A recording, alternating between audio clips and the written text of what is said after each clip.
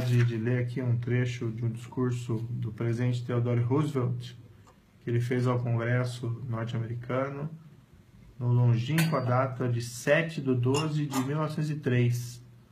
Esse trecho é sobre a corrupção e ele foi extremamente eloquente nesse discurso. Abrindo aspas, não existe crime mais sério do que a corrupção. Outras ofensas violam uma lei, enquanto a corrupção ataca as fundações de todas as leis. Sob nossa forma de governo, toda autoridade está investida no povo e é por ele delegada para aqueles que o representam nos cargos oficiais. Não existe ofensa mais grave do que a daquele no qual é depositada tão sagrada confiança, quem a vende para o seu próprio ganho e enriquecimento. E não menos grave é a ofensa do pagador de propinas.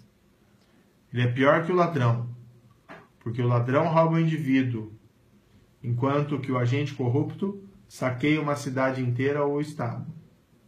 Ele é tão maligno como o assassino, porque o assassino pode somente tomar uma vida contra a lei, enquanto o agente corrupto e a pessoa que o corrompe miram, de forma semelhante, o assassinato da própria comunidade. No trecho seguinte, ele relembra uma frase famosa do ex-presidente Abraham Lincoln, continuando aqui nas aspas. O governo do povo, pelo povo e para o povo, irá perecer da face da terra, se a corrupção for tolerada. Os beneficiários e os pagadores de propinas possuem uma malévola preeminência na infâmia. A exposição e a punição da corrupção pública são uma honra para uma nação, não uma desgraça. A exposição e a punição da corrupção pública são uma honra para uma nação, não uma desgraça. A vergonha reside na tolerância, não na correção. Nenhuma cidade ou estado, muito menos a nação, pode ser ofendida pela aplicação da lei. Se nós falharmos em dar tudo o que temos para expulsar a corrupção, nós não poderemos escapar de nossa parcela de responsabilidade.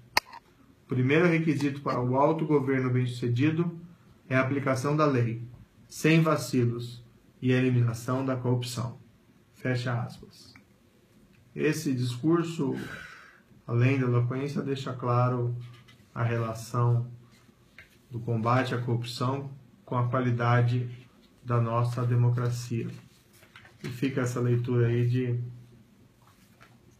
para ser apresentada nessa página que é mantida muito gentilmente pela minha querida esposa.